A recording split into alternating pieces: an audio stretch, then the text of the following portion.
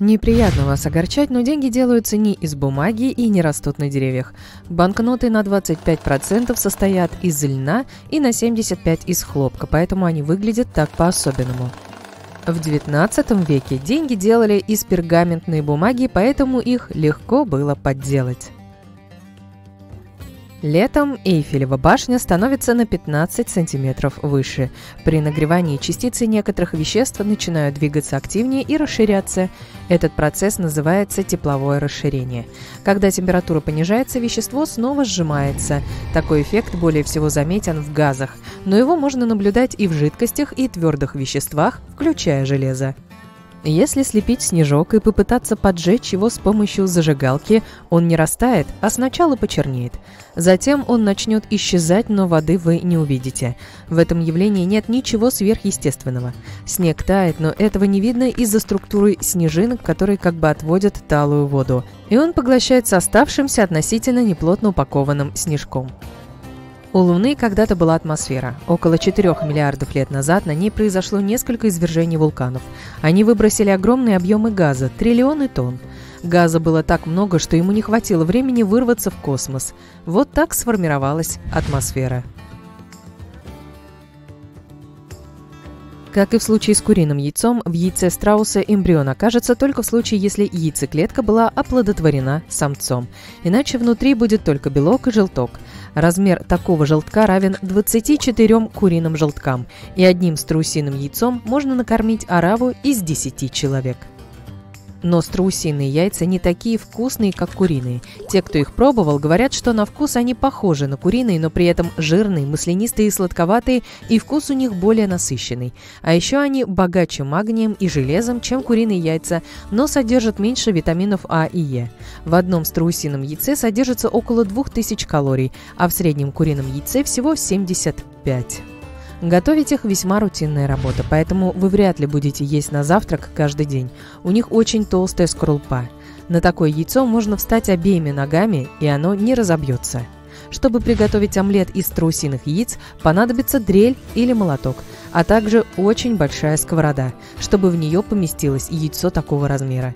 Нет, больше. Да, такая. А варка яйца займет почти 90 минут. Недавно, впервые за 130 лет, ученые решили пересмотреть генеалогическое древо динозавров. А все из-за двух видов динозавров, которые следовало сгруппировать вместе. Ящеротазовых хищников, вроде тиранозавра, и птицетазовых травоядных, вроде стегозавра. Люди все еще эволюционируют. Ученые отслеживают несколько миллионов человеческих аномалий. Оказывается, некоторые вредные гены постепенно уходят из ДНК человека. Звук распространяется под водой почти в 4 раза быстрее, чем в воздухе. Вот почему у дайверов часто возникают проблемы с определением направления звука – в бананах содержится калий, и он слегка радиоактивен. Но чтобы ощутить негативные последствия радиации, нужно съесть 10 миллионов бананов.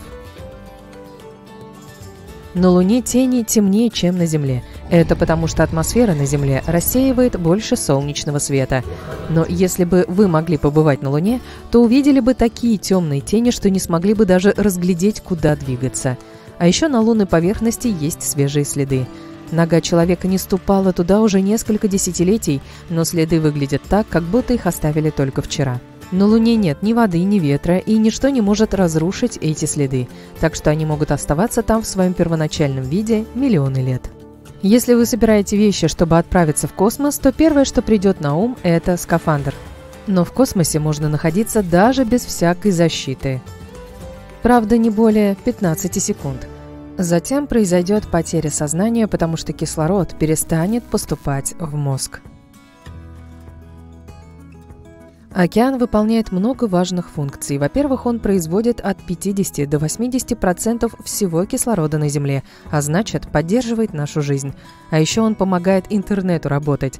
Так что, когда вы смотрите смешное видео или любимый сериал, скажите за это спасибо океану.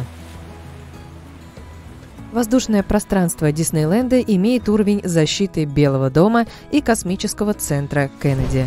Без специального разрешения пролет над тематическим парком запрещен. Ограничения ввели в 2003 году по соображениям безопасности, так что теперь над парком не летают ни самолеты, ни дроны. Как насчет аппликатора для масла в виде клеевой палочки? С этим изобретением готовить бутерброды по утрам станет намного проще. Главное, не перепутать его с настоящей клеевой палочкой. Бальзам для губ с беконом – отличное дополнение к масляным палочкам. Этот продукт уже можно найти в продаже. Представьте, как перед выходом на улицу вы смазываете губы кусочком жареного бекона. Да, о вкусах не спорят. Бананы – это вкусно и удобно. Благодаря плотной кожице они не ломаются, если носить их с собой. Но некоторым кажется, что естественной защиты недостаточно. Им не нравятся коричневатые пятна на желтой кожуре. Специально для них было сделано одно из главных изобретений 21 века – контейнер для бананов. Он надежно защитит банан от опасностей, которые подстерегают его повсюду. Как заставить кошку отрабатывать деньги, которые вы тратите на ее корм? Пусть она убирается дома. Японские инженеры придумали для кошек тапочки для сбора пыли. Кошка ходит по дому и попутно собирает пыль. Трудно сказать, что по этому поводу скажет кошка.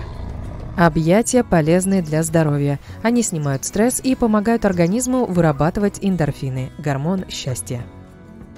Прототипом счастливой девочки в логотипе Вендис стала дочь создателя этой сети ресторанов Дэйва Томаса. Венди – это ее прозвище. Если присмотреться, на ее воротничке можно заметить слово «мама». Оно стало символом домашнего уюта. Время 9.41, установленное в рекламе iPhone, не случайный набор цифр. В 2007 году Стив Джобс впервые представил iPhone широкой публике после презентации длиной 41 минуту ровно в 9.41 утра. Первый логотип Apple был разработан в 1976 году и изображал сэра Исаака Ньютона под яблоней, на голову которого должно было вот-вот упасть яблоко. Многим он показался сложным, поэтому Стив Джобс его заменил. Некоторые испытывают страх перед технологиями. Это называется технофобия. В основном это связано со сложными новыми устройствами, такими как компьютеры, но корнями это уходит во времена промышленной революции. Это началось в XVIII веке, когда рабочие боялись, что новые машины лишат их работы. Основатели сети Dominos изначально планировали добавлять точку к домино в логотипе каждого нового заведения, которое они открывали. Но сеть росла так быстро, что было решено оставить точки лишь у трех первых ресторанов.